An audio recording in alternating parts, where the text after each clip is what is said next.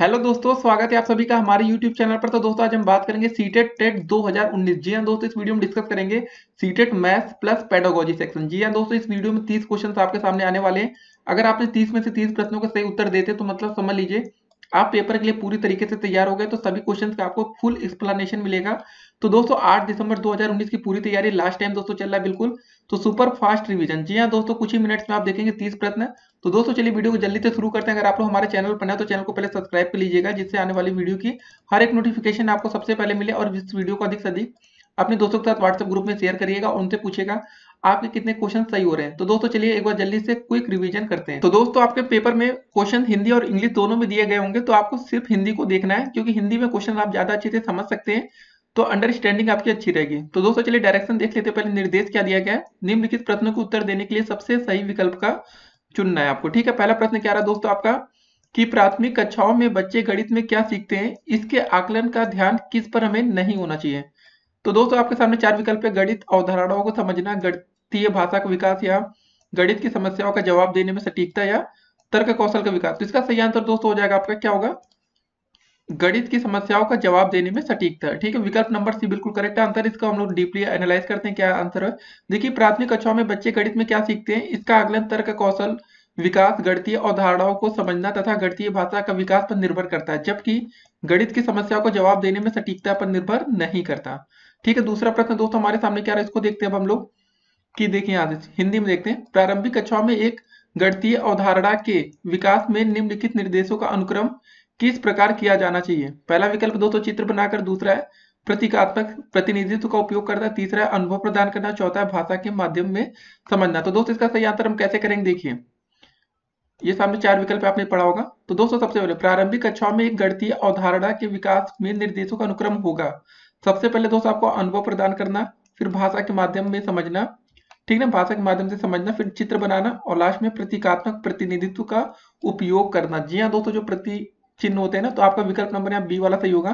तो दोस्तों, इसको आपको खाली क्रम में सजाना था कि पहला कौन होगा दूसरा कौन होगा, तीसरा चौथा। ठीक है ना? तो आज ढेर सारे क्वेश्चन थे दोस्तों थोड़ा थोड़ा जल्दी डिस्कस करेंगे क्योंकि ये आपका एक फास्ट रिवीजन चल रहा है। जी हाँ दोस्तों, कि आपने कितना भी मैथ में पढ़ रखा है, उसको फास्ट रिवाइज कर रहे हैं। तीसरा क्वेश्चन दोस्तों क्या है?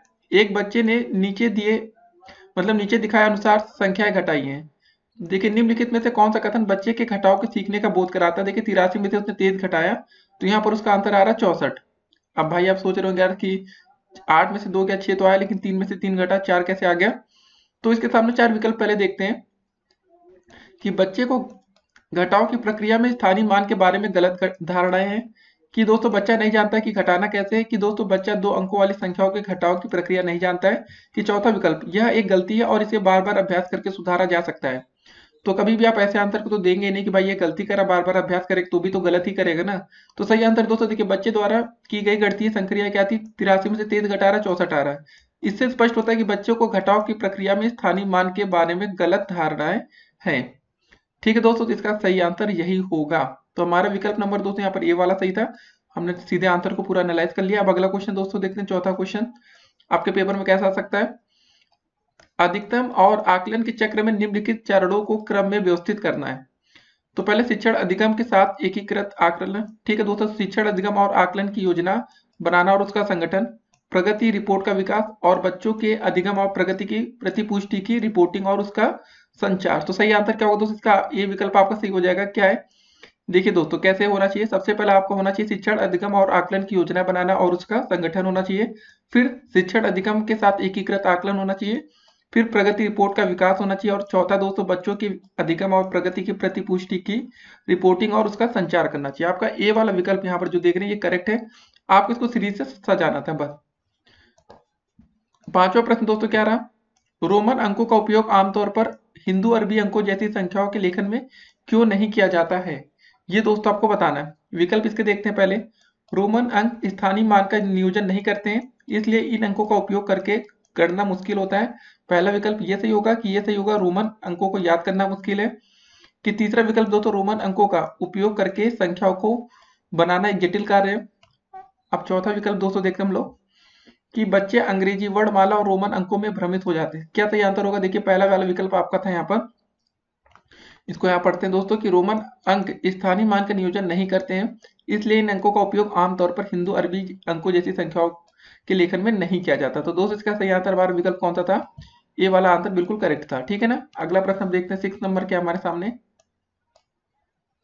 एक शिक्षक अपनी कक्षा में बच्चों को उनके परिवेश में मौजूद वस्तुओं के भौतिक गुणों को अपने शब्दों में समझाने के लिए प्रोत्साहित करता है। अपने छात्रों के साथ ऐसी गतिविधि करने के पीछे शिक्षा का सबसे उचित उद्देश्य क्या होगा, ये आपको बताना है। पहला विकल्प दोस्तों कि यह एक बहुत ही रोचक गतिविधि है, जिसे आकार की अवधारणा को पुनः देखने के लिए खाली समय में किया जा सकता है। दूसरा विकल्प दोस्तों, बच्चे अपनी भाषा में वस्तुओं को समझने का आनंद लेते हैं, जैसे कि वे डम्ब सराट खेलने का आनंद लेते हैं। तीसरा विकल्प दोस्तों की यह बच्चों को अनौपचारिक रूप से किसी वस्तु के भौतिक गुणों का निरीक्षण करने का अवसर देता है, जो आकारों के बारे में उनकी समझ गहन बनाता है। या चौथा विकल्प दोस्तों, यह एक उपयोगी गतिविधि है, जो एक बच्चे को आकारों का परिचय कराती है। तो सही आंसर दोस्तों होगा आपका सी वाला विकल्प। क्या था सी वाला? हमने दोस्तों अभी पढ़ा था। ठीक है ना? इसको यहाँ से देखते हैं कि शिक्षक द्वारा अपनी कक्षा को उनके परिवेश में मौजूद वस्तुओं के भौतिक गुणों को अपने शब्दों में समझाने के लिए प्रोत्साहित करता है। ऐसी गतिविधि करने के पीछे शिक्षक का उद्देश्य बच्चों को अनौपचारिक रूप से किसी वस्तु के भौतिक गुणों का निरीक्षण करने का अवसर देना है, जो आकारों के बारे में उनकी समझ को गहन परिचय कराती है। तो दोस्तों, पहले छह क्वेश्चन हो चुके हैं आपके सामने। ठीक है, सातवां प्रश्न रहा कि अशिक्षित दुकानदार द्वारा उपयोग किया जाने वाला गणित। क्या दोस्तों, गणित कक्षा में उपयोगी नहीं है? सभी गणितीय समस्याओं को हल करने में बहुत उपयोगी है। कि दोस्तों, में स्पष्टता और बहुत कम स्तर की शुद्धता है कि की संबंधित समस्याओं को हल करने में वैकल्पिक रणनीति के रूप में कक्षाओं में शिक्षकों द्वारा चर्चा की जानी चाहिए। तो दोस्तों, इसका सही आंसर क्या होगा? देखिए, इसका सही आंसर आपका होगा विकल्प नंबर डी वाला हमारा। क्या होगा दोस्तों? अशिक्षित दुकानदार द्वारा उपयोग किए जाने वाले गणित को संबंधित समस्याओं को हल करने में, वैकल्पिक रणनीति के रूप में कक्षाओं में शिक्षकों द्वारा चर्चा की जानी चाहिए। ठीक है ना? आठवां प्रश्न हम देखेंगे। एक शिक्षक को गणित कक्षा में बच्चों के लिए विषय समूह को कैसे संभालना चाहिए बताना है। तो पहला विकल्प है, एक ही क्षमता वाले बच्चों को एक साथ समूहीकृत करके और उनकी क्षमता के अनुसार प्रश्न देना चाहिए कि एक ही कक्षा में सभी बच्चों को एक साथ समूहित रखना चाहिए। कि अलग अलग क्षमताओं वाले बच्चों को एक साथ समूहित रखकर ताकि वो एक दूसरे से कुछ सीख सकें। या चौथा विकल्प दोस्तों आपका है, कम क्षमता वाले बच्चों को जटिल प्रश्न ग्रह कार्य के रूप में दे देना चाहिए। तो सही आंसर होगा दोस्तों आपका सी वाला विकल्प। क्या सही आंसर था हमारा? सी वाला। कि शिक्षक को गणित कक्षा में बच्चों के एक विषय समूह को अलग अलग क्षमताओं वाले बच्चों को एक साथ समूहित रखकर ताकि वे एक दूसरे से कुछ सीख सकें। यदि शिक्षक सभी बच्चों को एक साथ समूहित रखकर शिक्षण कार्य करता है तो निर्योग्य बच्चे शिक्षा को सही रूप में ग्रहण नहीं कर पाएँगे। ठीक है ना?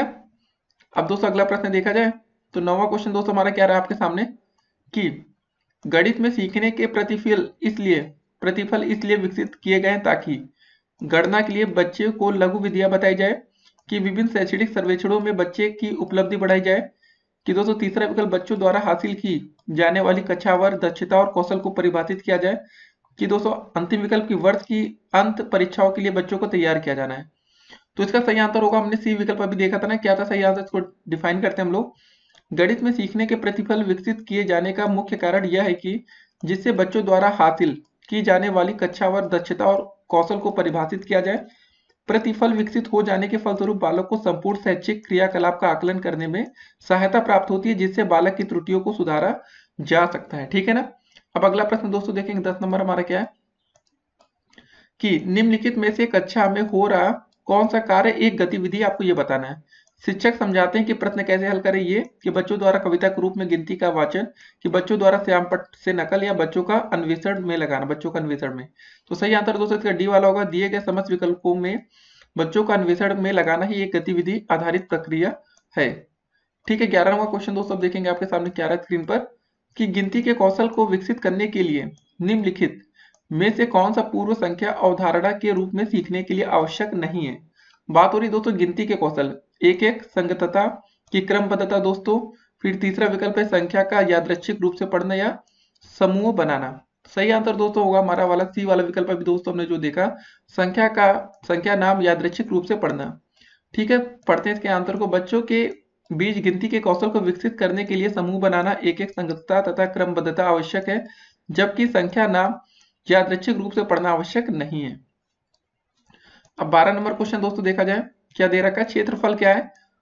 उसने लंबाई गुड़े चौड़ाई उत्तर दिया। क्षेत्रफल की अवधारणा के बारे में, बच्चे की समझ के बारे में आप क्या कह सकते हैं?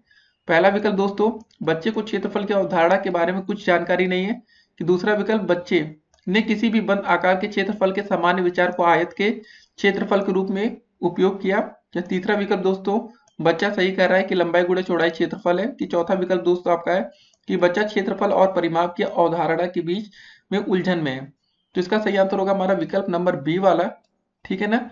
कि भाई बच्चे द्वारा दिया गया उत्तर निश्चित रूप से यह स्पष्ट करता है कि बच्चे ने किसी बंद आकार के क्षेत्रफल के सामान्य विचार को आयत के क्षेत्रफल में उपयोग कर लिया है। ठीक है? फिर तेरह नंबर क्वेश्चन दोस्तों देखेंगे हम लोग, कि गणित, सीखने के संबंध में निम्नलिखित में कौन सा कथन सत्य है? पहला विकल्प दोस्तों, गणित सीखने के लिए एक कठिन विषय है। ये वाला कि आमतौर पर लड़कियाँ गणित में कमज़ोर होती हैं। ये तो अलग विकल्प दोस्तों, हर कोई गणित सीख सकता है, तीसरा विकल्प। और चौथा विकल्प दोस्तों क्या है? कि गणित केवल कठोर अभ्यास से सीखा जा सकता है। सही आंसर दोस्तों क्या होगा? सही आंसर आपका विकल्प नंबर सी वाला था, जो भी हमने देखा लास्ट में, कि हर कोई गणित आपका सीख सकता है। जी हाँ दोस्तों, एक विकल्प तो बिल्कुल ही बेकार था कि गणित, लड़कियाँ गणित में कमज़ोर होती हैं। तो सी विकल्प में दोस्तों क्या था, उपयुक्त प्रश्न में गणित सीखने के संबंध में दिए गए समस्त कथनों में से तृतीय कथन उचित होगा क्योंकि गणित हर कोई सीख सकता है, यह व्यक्तित्व के भिन्नता पर आश्रित रहता है।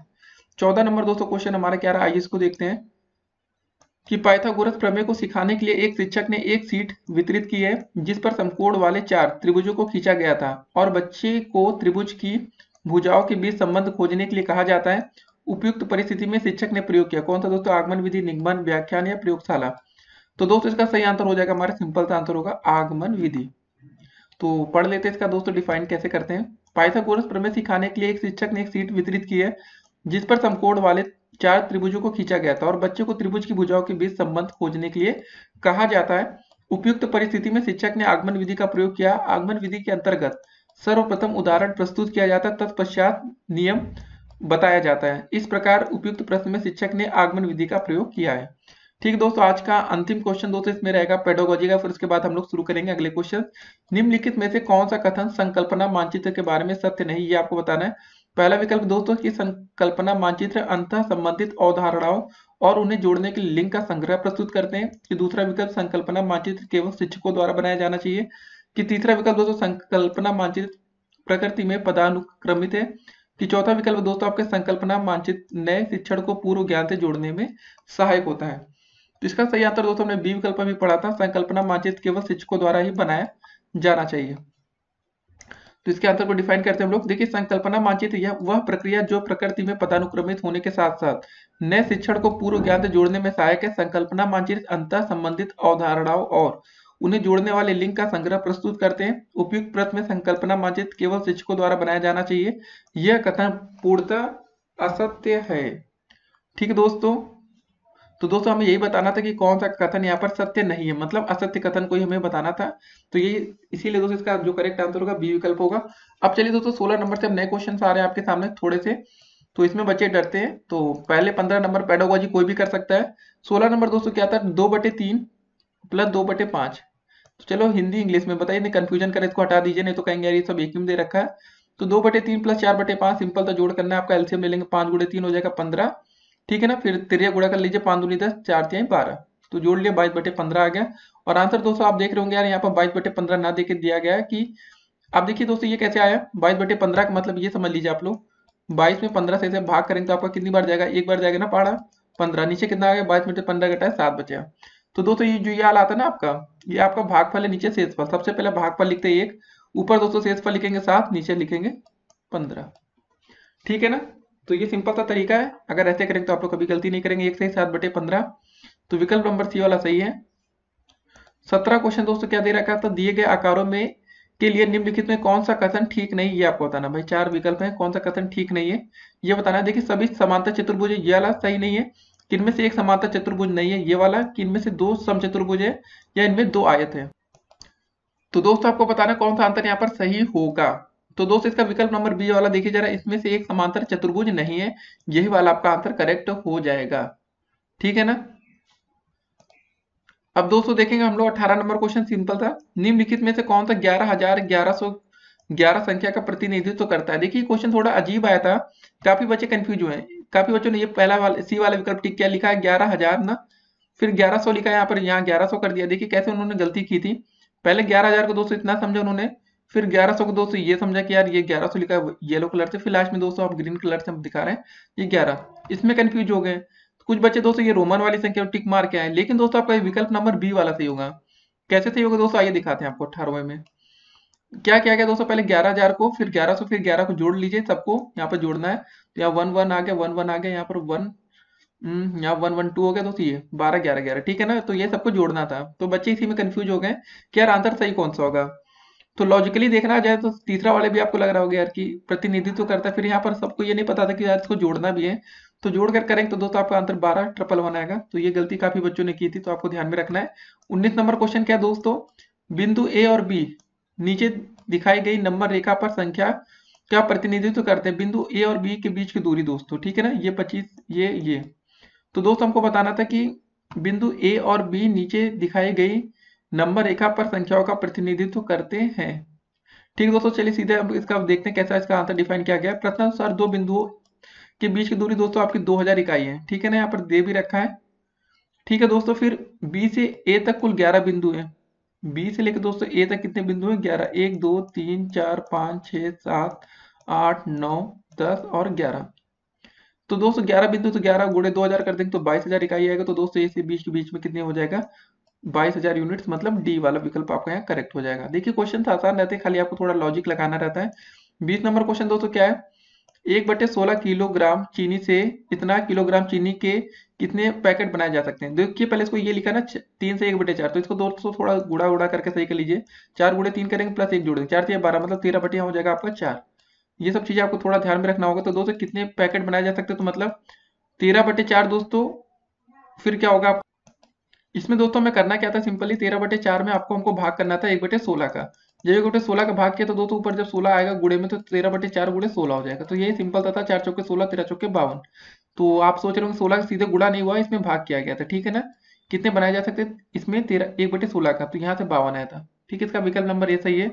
अब अगला क्वेश्चन दोस्तों, जल्दी से देखते हैं हम लोग। तो दोस्तों, अगला क्वेश्चन क्या रहा हमारा? ट्वेंटी वन नंबर ठीक है? इक्कीस नंबर क्वेश्चन की हरीत ने अठारह बजकर चालीस बजे अपनी यात्रा शुरू की और बाईस बजकर बीस मिनट पर अपनी यात्रा को समाप्त किया। तो यात्रा पूरा करने में लिया गया समय होगा।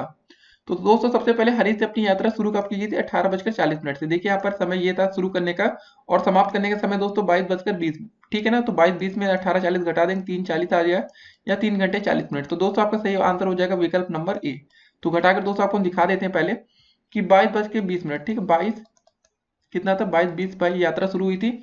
यहाँ दोस्तों, लास्ट में घटा रहे इसको ध्यान दीजिएगा। और खत्म कब हुई थी? अठारह चालीस पर। अठारह चालीस।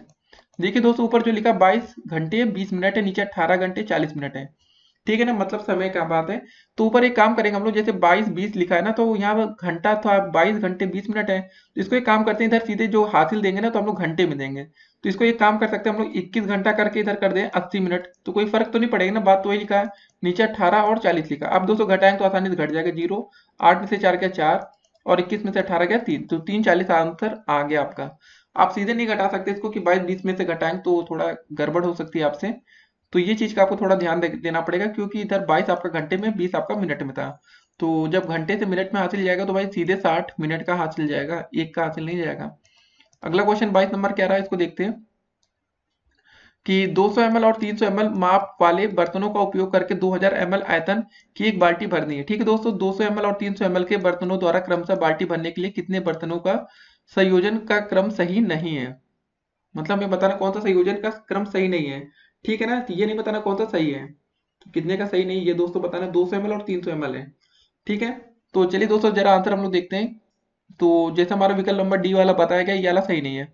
दोस्तों, अगर हम छह गुड़े दो सौ कर दें मतलब दो सौ एम का एक बाल्टी हमको लेना है और एक हमें लेना है तीन सौ का। तो दोस्तों, पहले लिखा है ना, पहले दो सौ एम वाला छह है तो छह दूनी बारह सौ एम हो जाएगा और तीन वाला कितना हो जाएगा दोस्तों? तीन। तो बारह नौ सौ हो जाएगा इक्कीस सौ जो कि दोस्तों दो हज़ार एम आयतन से बल्टी से ज़्यादा है। तो ये वाला विकल्प यहाँ करेक्ट होगा। देखिए दोस्तों, अगर हम पहला वाला विकल्प ले जरा तो क्या दोस्तों दो सौ पहले हो जाएगा ना? एक और छह लिखा तो दो सौ कर देंगे। और दूसरा वाला तीन सौ है तो मतलब छह गुड़े तीन कर देंगे तो छह तरीका अठारह सौ तो अठारह सौ दो सौ जोड़ेंगे तो दो हज़ार एम बन जाएगा। फिर दोस्तों ये वाला विकल्प देखिए पहला, दो सौ गुड़े चार करेंगे, दो चौके आठ, तीन चौके बारह, आठ बारह और आठ, बीस होता है, ये भी हो जाएगा। सात दूनी चौदह, दो बीस, ये भी हो गया। तो ये सब चीज़ें ध्यान में रखना है। तो क्वेश्चन अगर आप आएँगे तो विद इन सेकंड कर सकते नहीं आता तो आप लोग परेशान रहेंगे, कुछ नहीं होगा। तेईस नंबर क्वेश्चन दोस्तों क्या है? कि निम्नलिखित में से सात दशमलव एक गुड़े तीन दशमलव आठ पाँच बटे नौ दशमलव ज़ीरो नौ का सबसे अच्छा अनुमान कौन सा है? ठीक है, आपके सामने चार विकल्प दिख रहे दोस्तों तो कैसे करेंगे? आइए देखते हैं इसके आंसर को। तेईस नंबर क्वेश्चन तो दोस्तों, ये विकल्प आप देख रहे हैं, सबसे अच्छा अनुमान होगा, क्योंकि सात दशमलव एक दोस्तों, इसका मतलब होता है आपका सात। तीन दशमलव आठ पाँच का मतलब दोस्तों, क्या हो जाएगा आपका? ये हो जाएगा दोस्तों आपका चार। कैसे हो जाएगा दोस्तों? जैसे पाँच हटे तो यहाँ पर हो जाएगा तीन दशमलव नौ। तो नौ हटाएँगे दोस्तों, यहाँ पर हम चार लिख सकते हैं। तो मतलब हो जाएगा दोस्तों आपका सात गुड़े चार। नीचे नौ दशमलव ज़ीरो नौ है। तो दोस्तों जब ये पहला वाला नौ हटेगा तो यहाँ बचेगा नौ दशमलव एक और एक हटा देंगे तो नौ ही बचेगा। तो हमारा विकल्प नंबर बिल्कुल करेक्ट आंसर होगा। बाकी के दोस्तों जो विकल्प है उसको जरा देख लेते हैं, लिखा था। सात गुड़े तीन। देखिए, पहला वाला विकल्प इसलिए गलत हो जाता है दोस्तों? जब ये आठ इधर आएगा तो यहाँ चार हो जाना चाहिए। तो ग्यारह तो गलत है। उसके बाद दोस्तों जरा देखते हैं नौ। नीचे वाला दोस्तों जैसे दस कर दिया। नौ दोस्तों अगर ये लिखा तो नाइन पॉइंट नाइन तो नीचे दोस्तों दस हो सकता था। तो दस वाले दोनों विकल्प अपने आप गलत हो जाते हैं, सही आपका बी वाला विकल्प ही रहेगा। अब चौबीस नंबर जरा क्वेश्चन को दोस्तों देख लेते हैं जल्दी से हम लोग। क्या रहा? देखिए, यदि ग्रिड में एक छोटा वर्ग, चार वर्ग इकाई का है तो ग्रिड पर बनाए गए आयत का परिमाप क्या होगा? ये आपका आयत बन रहा है। ठीक है दोस्तों, जरा गिन लीजिए, इसको काउंट करना पड़ेगा आपको। कितनी यूनिट्स का, देखिए, आपको आंसर यहाँ पे देखते हम लोग, सीधे आंसर को। तो आंसर दोस्तों देखिए कैसे ग्रिड में एक छोटा वर्ग आपका चार इकाई का है तो ग्रिड की एक भुजा दोस्तों आपकी दो इकाई की होगी। इस प्रकार ग्रिड पर बनाए गए आयत का परिमाप क्या होगा दोस्तों, इसको जरा देखते हैं। तो दोस्तों, आपने आयत का परिमाप का फार्मूला पढ़ रखा होगा टू प्लस लंबाई प्लस चौड़ाई, आपने ये फार्मूला पढ़ा ना आयत का परिमाप निकालने के लिए। तो यहाँ पर दोस्तों जरा देख रहे होंगे आप लोग, क्या लिखा A B plus D C तो दोस्तों ए बी ऊपर वाला डी सी नीचे, इसको जोड़ लिया गया, फिर दोस्तों इधर वाला इधर को जोड़ लिया गया तो ये दोस्तों हमारा आ जाएगा। तो दोस्तों आप इस तरह इसका आंसर आप निकाल सकते हैं। तो दोस्तों हमने जो इसके बताया था, हमने भुजा जो मानी थी, यहाँ पर देख रहे हैं कि ग्रिड की एक भुजा दोस्तों की दो वर्ग इकाई हो जाएगा, क्योंकि देखिए ग्रिड में एक छोटा वर्ग आपका चार इकाई का है, ठीक है ना? एक पूरा वर्ग आपका कितने चार इकाई का है। तो एक भुजा दोस्तों आपकी दो इकाई की हो गई। तो दोस्तों आप देख रहे हो ए बी कितना हो जाएगा? ए बी का मतलब दोस्तों दो दो दो दो, चार, आठ हो जाएगा दोस्तों। यहाँ पर दो दो और कर लेंगे तो ये चार हो जाएगा। तो देखिए आठ प्लस आठ, चार प्लस चार, सोलह आठ हो जाएगा, चौबीस। तो सही विकल्प होगा दोस्तों हमारा सी वाला विकल्प चौबीस यूनिट या चौबीस इकाई। तो दोस्तों, हो सकता है अभी आपके मन में कंफ्यूजन और होगी कि यार दो कहाँ से आया? देखिए, समझ जाइए इसको जरा। क्वेश्चन में क्या लिखा था? एक छोटा वर्ग आपका चार वर्ग इकाई का है। तो चार वर्ग का मतलब क्या हो गया? चार वर्ग इकाई। या दोस्तों, वर्ग इकाई का मतलब आप समझ रहे क्या लिखा है? अभी बच्चे समझ गए होंगे। वर्ग इकाई का मतलब लिखा है कि यार ये क्षेत्रफल दे रखा है। एक वर्ग का क्षेत्रफल चार वर्ग है। तो दोस्तों वर्ग का क्षेत्रफल बराबर क्या होता है बताइए जरा? भुजा का स्क्वायर होता है ना? तो भुजा बराबर दोस्तों क्या हो जाएगा बताइए? अंडर रूट हो जाएगा क्षेत्रफल अंडर रूट चार हो जाएगा तो भुजा बराबर दोस्तों आपका आ जाएगा दो, आ जाएगा दो इकाई। ठीक है ना? तो यही बात लिखी थी, यहाँ पर क्वेश्चन में डायरेक्ट लिख दिया जाता तो आप समझ नहीं पाते तो मतलब यहाँ पर हमने अंडर रूट चार किया तो इसका मान दो आया था। क्योंकि इसका दोस्तों यूनिट लिखा है, इसको ध्यान से पढ़िए। एक छोटा वर्ग, चार वर्ग सेंटीमीटर बोला होता तो आप समझ जाते हैं कि चार मीटर स्क्वायर हो गया या कुछ। लेकिन क्वेश्चन पूछने वाले भी भाई सीटेट का पेपर देने वाले हैं। तो थोड़ा सा कंफ्यूजन तो देगा ही ना वो पेपर में। नहीं तो सभी बच्चे तीस में तीस नहीं पाएँगे मैथ में। फिर पच्चीस नंबर क्वेश्चन क्या दोस्तों? एक बच्चे ने पाँच विषयों में से प्रत्येक में पचहत्तर अंक प्राप्त कर लिया। बच्चे द्वारा प्राप्त अंकों की माध्यिका क्या होगी ये आपको बताना है। देखिए दोस्तों, विषयों की कुल संख्या आपकी पाँच थी। प्रत्येक विषय में दोस्तों प्राप्त अंक पचहत्तर तो मतलब दोस्तों पाँच विषयों में कुल कितने अंक प्राप्त किए होंगे? तीन सौ पचहत्तर। तो दोस्तों हमें बताना था माध्य। तो कुल प्राप्त अंक था तीन सौ पचहत्तर और कुल विषय तो दोस्तों थे पाँच, भाग कर लिए पचहत्तर आ जाएगी। तो माध्यिका आपका कौन सा हो जाएगा? विकल्प नंबर ए। आसान तो क्वेश्चन था दोस्तों खाली आपको यहाँ ध्यान देना था कि यार टोटल विषय भी पाँच थे, पचहत्तर अंक प्राप्त किए तो पचहत्तर गुड़े पाँच, जो भी आया उसमें पाँच से भाग कर दिए देखिए दोस्तों, यहाँ पर छह विषय और कुछ और विषय होता है ना तो यहाँ पर आंसर भी पचहत्तर ना आता। तो आप सोच रहे होंगे, पचहत्तर अंक का मतलब पचहत्तर है? ऐसा नहीं है। ठीक है, अगला क्वेश्चन दोस्तों हम लोग देखेंगे, अब छब्बीस नंबर क्या दे रखा है? कि दिए गए ठोस को निम्न में से किसको मोड़कर बनाया जा सकता है? तो दोस्तों, ये आपके सामने ठोस दिया गया है तो आपको ये बताना चार विकल्प इसमें इसको किसको कैसा मोड़ दे कि ये वाला आपका विकल्प बन, तब ऐसा बन जाए। ये वाला बनाना है दोस्तों, और ये चार विकल्प है। किसको मोड़ेंगे तो आप ऐसा बन जाएगा। तो दोस्तों, हम देख रहे इसमें विकल्प नंबर बी वाला। ठीक है ना? दिए गए ठोस को यदि मोड़ा जाए तो दोस्तों, निम्न आकृति प्राप्त हो सकती है। ठीक है ना? इसका करेक्ट आंसर बी वाला होगा। तो इसको आप लोग ट्राई करते रहिएगा अपने दिमाग में, इमेजिन करके। तो सत्ताईस नंबर क्वेश्चन दोस्तों, देखते हैं। यदि निम्नांकित पाई चार्ट में लाल भाग चालीस है तो सफ़ेद भाग क्या होगा? रेड भाग दोस्तों, ये देख रहे होंगे ना, ये आपका चालीस दे रखा है वन बाई टू तो हमें बताना दोस्तों, ये व्हाइट वाला वन बाई एट वाला भाग कितना होगा? तो दोस्तों, कैसे करेंगे? देखिए, निम्नांकित चार्ट में दोस्तों, लाल भाग चालीस है, जो कि पूरे चार्ट का अर्धक है। मतलब दोस्तों, हमारा पूरा चार्ट कितना हो गया? अस्सी. समझ रहे ना वन बाई का मतलब क्या होगा देखिए, पूरा वन बाई टू इधर हो गया, पूरा वाला वन बाई टू इधर. ठीक है, लाल भाग यहाँ चालीस दिया गया तो मतलब दोस्तों, चालीस अगर इधर कर देंगे तो चालीस इधर भी आ जाएगा, अस्सी हो जाएगा। ठीक है तो वन बाई एट गुड़े अस्सी कर देंगे दोस्तों तो हमें पूरा भाग मिल जाएगा। मतलब कितना आ जाएगा? दस भाग। ठीक है ना? वन बाई एट गुड़े चालीस नहीं करेंगे। इसको ध्यान में रखना हमें वन बाई एट मतलब पूरे का दोस्तों आपका दे रखा वन बाई एट तो मतलब वन बाई एट गुड़े अस्सी करेंगे। ठीक है ना? तो ये आ जाएगा दस। तो हमारा विकल्प नंबर बी सही है क्योंकि काफ़ी बच्चे हैं गलती ये कर सकते हैं कि वन बाई एट गुड़े चालीस करेंगे। तो दोस्तों पाँच आएगा आंसर। आपको लगेगा, यार यही वाला सही है। तो सीटेट का पेपर फिर से दोस्तों बता रहे हैं कि भाई कंफ्यूज करने के लिए आपको ऐसे क्वेश्चन पूछे आते हैं। अट्ठाईस नंबर प्रश्न, निम्नांकित ठोस आकार का निरीक्षण आपको करना है। तो देखते हैं भाई कौन सा ठोस आकार है। तो निम्न में से कौन सा दिए गए ठोस की ऊपरी सतह का दृश्य होगा? ठीक है ना दोस्तों? ये वाला ऊपर देख रहे हैं। तो ये वाला होगा कि ये ये ये होगा। तो दोस्तों हम जो ए वाला विकल्प देख रहे हैं तो ये ठोस का ऊपरी सतह होगा। ठीक है ना? हमारा ए वाला विकल्प दोस्तों यहाँ पर बिल्कुल करेक्ट आंसर है। तो ऐसे क्वेश्चन आपके पेपर में आते हैं तो भाई आपको ध्यान में रखना है कि ये मत सोचिए कि सी वाला यार एक को दिख रहा ऊपर, एक को ये वाला होगा। ऐसा नहीं था। उनतीस नंबर दोस्तों क्वेश्चन क्या हमारा? निम्नलिखित में से किसकी लागत अधिक है? पहला विकल्प दिया गया दोस्तों मतलब दिया गया, पूछा गया प्रश्न। 250 प्रत्येक पैकेट वाले दोस्तों 200 पैकेट या 250 प्रत्येक वस्तु के 20 दर्जन। आपको बताना दोस्तों कि क्या बताया, पूछा गया कि किसकी लागत अधिक आएगी। ठीक है ना? तो देखिए, दिए गए कथन में विकल्प के अनुसार 250 प्रत्येक पैकेट वाले 200 पैकेट तथा दूसरा विकल्प के अंदर 250 का 20 दर्जन। मतलब दोस्तों क्या है? एक दर्जन में दोस्तों आपका कितना होता है? सिंपल से बोले, एक दर्जन में आपको कुछ भी होगा तो 12 होगा। या एक दर्जन बराबर 12 के लिए आपने पढ़ा होगा तो 12 ऐसे याद रखना है। तो दोस्तों बीस दर्जन का मतलब कितना हो गया? बीस गुड़े आप बारह कर देंगे तो आ जाएगा दो सौ चालीस पैकेट। ठीक है? और पहले वाले में दोस्तों आपको दिया गया था दो सौ पैकेट। तो सिंपल सी बात है दोस्तों, यहाँ 240 पैकेट होगी, संख्या बढ़ गई तो इसी की लागत अधिक हो जाएगी। तो हमारा विकल्प नंबर दोस्तों यहाँ पर बीस सही हो जाएगा। क्योंकि दोस्तों देखिए, दो सौ पचास रुपए का प्रत्येक पैकेट, समझ जाइए पहले कि ये 200 पैकेट गुड़े 250 करेंगे। इसका मान ज़्यादा आएगा कि 240 गुड़े 250 करेंगे, इसका मान ज़्यादा आएगा। आप कहेंगे 240 गुड़े 250 करेंगे, इसका मान ज़्यादा आएगा तो यही आपका सही आंसर है। अब आज का अंतिम क्वेश्चन दोस्तों, देखते हैं इस पेपर का फ़िलहाल कि one minus one plus one up सो वन फिर one plus one minus one का सम संख्या पदों का योग होगा। दोस्तों, ये बताना है। तो दोस्तों, देखिए, वन माइनस वन, फिर ठीक है, सम संख्याओं की बात हो रही है। तो पदों का योग दोस्तों शून्य हो जाएगा। सम वाले दोस्तों क्या हो जाएँगे? प्लस प्लस होते जाएँगे मतलब माइनस माइनस भी जुड़ जाता है और प्लस वाला तो घट जाएगा। तो मतलब दोस्तों, अगर कभी ऐसा हो जाए कंडीशन कि 100 माइनस का 100 हो जाएगा तो क्या होगा दोस्तों? ये कट के ज़ीरो ही आ जाएगा ना? तो बस ए वाला विकल्प सही है। देखिए, यहाँ पर ज़ीरो शून्य भी दिया गया था। तो पहले तीस क्वेश्चन हो चुके दोस्तों और आप लोग कमेंट करके बता सकते हैं कि पहले तीस प्रश्नों में आपने कितने अंक हासिल किए अब दोस्तों देखते हैं अगला पेपर कैसा आया था पेपर में आपके।